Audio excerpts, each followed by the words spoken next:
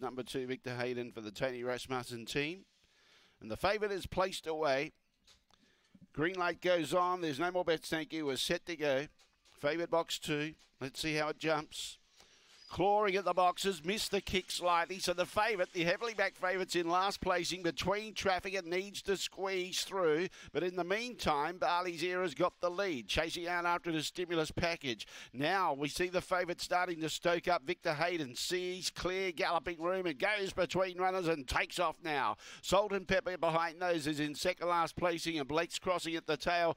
Very heavily supported. Wasn't real well away, but a mile too good. Victor Hayden goes on to win comfortably by seven lengths.